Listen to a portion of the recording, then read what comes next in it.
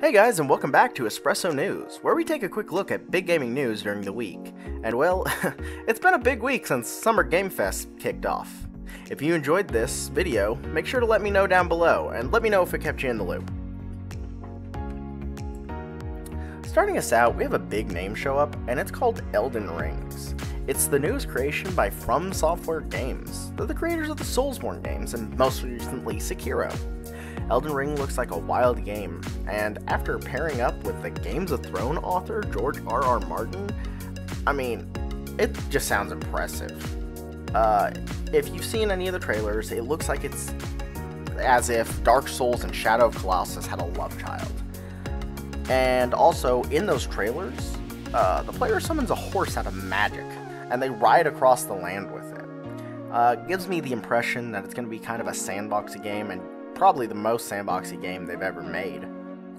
Kind of make pseudo sandboxy games. So I'm looking out for it, you know, it's probably a game I'm gonna get. Uh, in the trailer, there was your staple big bossy enemies, uh, but it looks like they just roam the world. It's impossible to look at it and say it doesn't look like Dark Souls 4, and you know, you tell me if you think that's a good or a bad thing. But either way, we're really hyped for this game and me especially. Up next, the Borderlands spin off game we were hearing about turned out to be true, and it looks to be based on the Borderlands 2 DLC, going by the name Tiny Tina's Wonderland. It's got dragons, magic, Tiny Tina, and best of all, Butt Stallion has made a comeback. Not a whole lot to go off of, but maybe we'll see some new gameplay features with the magic we saw. Only time will tell. Another reveal that got people excited is the Among Us devs released a roadmap trailer of some added content that they're working on, and new features which will include new maps, new roles like the Sheriff and Scientist, and even some new game modes. It's wild to see an indie game that came out in 2018 getting some love in fucking three years later. Uh, yeah, I just had to check the calendar for that. Sue me.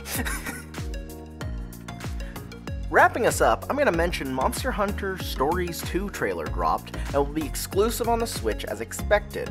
Back 4 Blood released a trailer, and if you love Left 4 Dead, this is made by some of the creators of that, so check it out. It's essentially the spiritual successor to the game. And lastly, the cult classic horror movie Evil Dead released a gameplay trailer showing off what you'll be doing in game. Almost reminds me of Dead by Daylight, really. But there you have it, guys. Some thoughts on the newest games to be announced, and we hope to see you guys during E3 around the corner. Again, let me know if you enjoyed getting a fast rundown on some game news down below. And if you're not subscribed, now's the time to do so. We'd love to have you in the community. Alright, see ya.